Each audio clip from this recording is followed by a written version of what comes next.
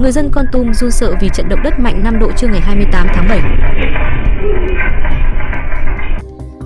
11 giờ 35 phút trưa ngày 28 tháng 7, nhiều người dân ở một số tỉnh miền Trung và Tây Nguyên cảm nhận sự rung lắc sau trận động đất 5 độ xảy ra ở huyện Con Plong, tỉnh Con Tum.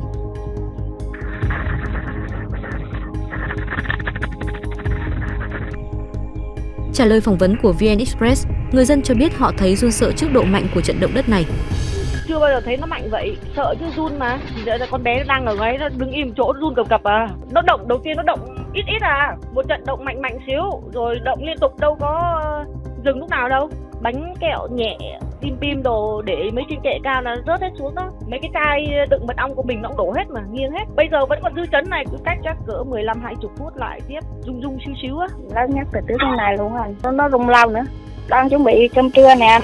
Xong rung giặt quýnh có chạy vòng quanh nhà luôn. Do nhà thấp em không có để được con nhưng mà tường nó nó nứt ra với rớt xi măng xuống đang ăn cơm xong ra ngồi bàn uống nước á.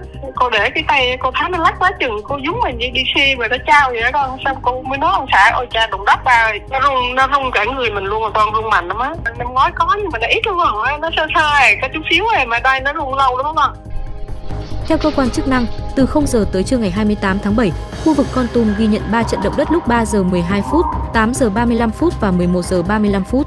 Mạnh nhất là trận lúc 11 giờ 35 phút, rủi ro thiên tai cấp độ 2, được xem là mức mạnh nhất ở Con Tum trong nhiều năm qua.